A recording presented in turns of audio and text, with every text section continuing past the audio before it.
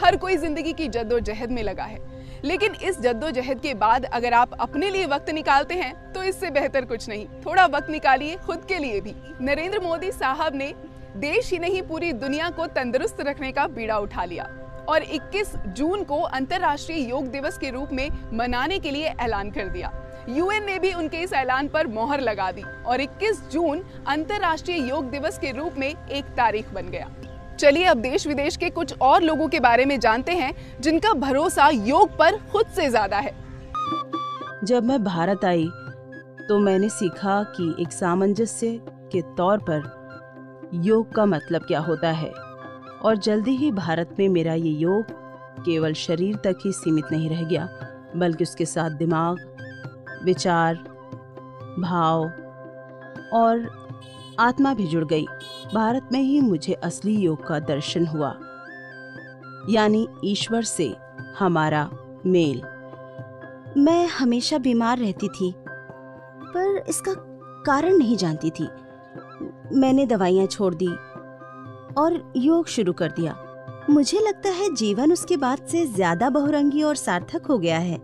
मैं अंतर्राष्ट्रीय योग फेस्टिवल में आठवीं बार आ रही हूँ। मैं योग गुरुओं और अध्यापकों के पास उनसे सीखने अध्ययन करने परिपक्व और विकसित होने के लिए आती हूँ।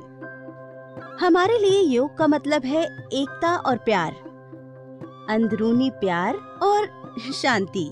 जब मैं विद्यार्थी था तो बीमार हो गया था। फिर मुझे योग के बारे में पता चला। मैंने योग शुरू किया। मेरी सेहत फिर पूरी तरह ठीक हो गई। मैं फिर पहले से काफ़ी सेहतमंद हो गया। मुझे काफ़ी हैरानी हुई तो फिर योग में मेरी दिलचस्पी बहुत बढ़ गई।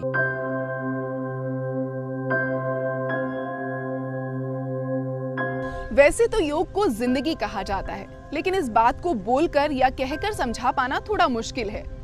योग ने किस तरह से लोगों की ज़िंदगी को बदला है आइए बात करते हैं कुछ लोगों से और जानते हैं उनकी सक्सेस स्टोरी मेरा वेट बहुत बढ़ रहा था मैंने एक साल योगा किया, उससे मुझे बहुत फ़ायदे हुए, जिससे मेरा बॉडी फिगर थोड़ा सही हुआ और काम के साथ साथ मैं योग करने जाती थी।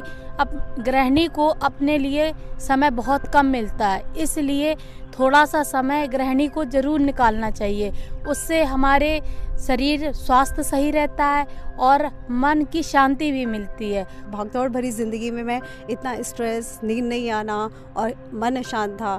फिर मैंने योग की तरफ़ अपना ध्यान केंद्रित किया और मैंने पाया कि मैं एक सुखद एहसास अनुभव कर रही हूँ और मेरा मन बहुत शांत हुआ, अच्छे से नींद आती थी और एक खुशहाल ज़िंदगी में जीने लगी।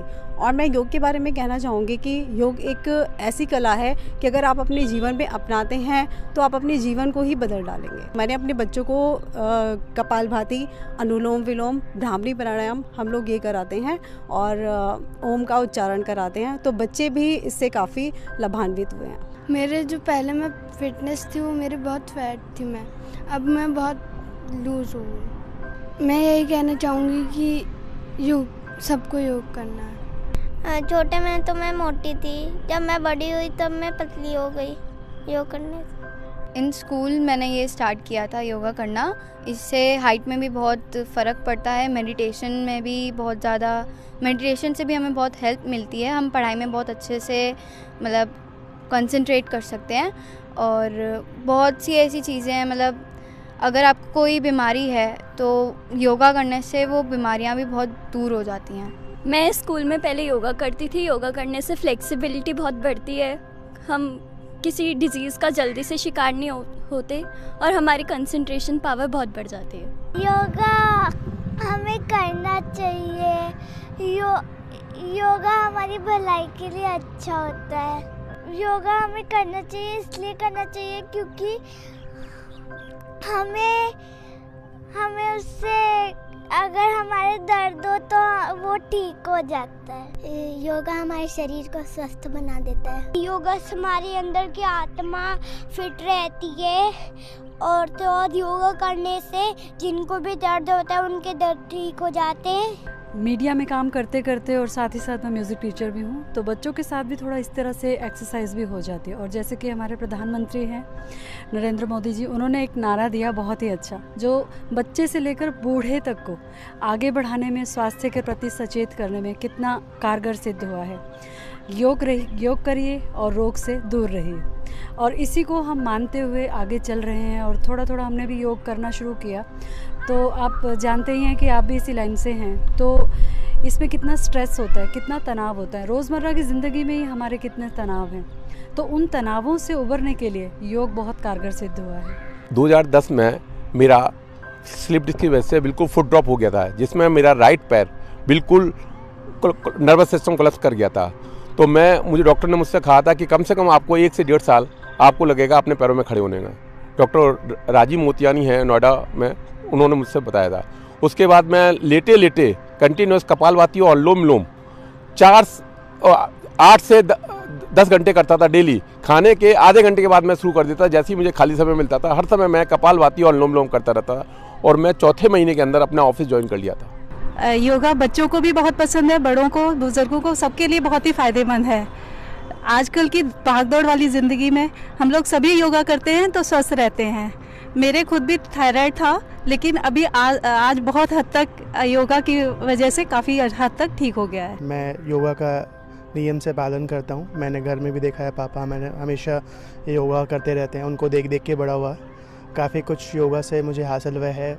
जैसे आप जानते हो आईटी में लाइफ काफ़ी हैक्टिक होती है। आप हमेशा बैठे रहते हो, बैठ के काम करते हो।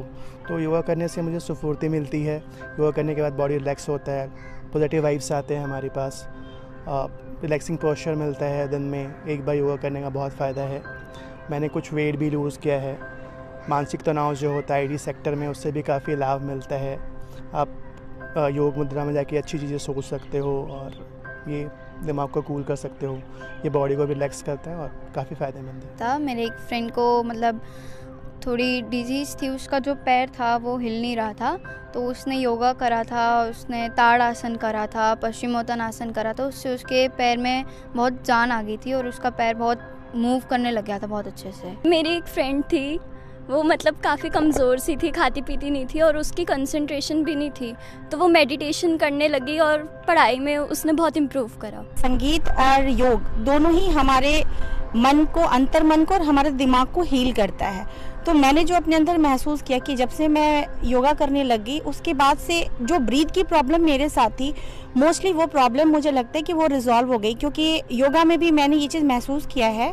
Each breath more breath more breath more relax and more relax is more healing तो कोई भी आसन हम लगाते हैं तो मैक्सिमम हम अपने ब्रीथ को होल्ड करें, जितना देर हम कर सकते हैं पहली बार थोड़ा कम, उसके बाद उसको मतलब वो होल्डिंग की जो एक कैपेसिटी होती है, जितना ज़्यादा हम बढ़ाएँगे, हमें उतना ही ज़्यादा हमारे सोल पे, हमारे ब्रेन पे इवन मेरी वॉइस पे भी काफ़ी फ़र्क आया है बिकॉज़ ब्रीथ की जो प्रॉब्लम होती थी कि गाते गाते कई बार, एक तो मैं फैटी हूँ तो मोस्टली होता है फैटी बॉडी के साथ होती है कि आपकी ब्रीथ आपकी कंट्रोल में नहीं होती आउट ऑफ़ कंट्रोल हो जाती है तो वो काफ़ी हद तक मुझे योगा करने से सुधार मिला। पैर में थोड़ा सा दर्द कम हो जाता है, मैंने चलने में सारे दिन मैंने थोड़ा फुर्तीला आता है। तो क्या कहना चाहेंगे इस योग दिवस पर आप? हम यही कहेंगे कि सभी को करना चाहिए और अपने शरीर को स्वस्थ और मज़बूत बनाए जब तक हम लोग ज़िंदा हैं। योग से हमारा स्वास्थ्य अच्छा रहता है। योग योग करने से पूरी फैमिली को योग करना चाहिए। जैसे उम्र बढ़ती है तो बीमारियाँ बढ़ती है योग योगा से उससे फ़ायदा होता है।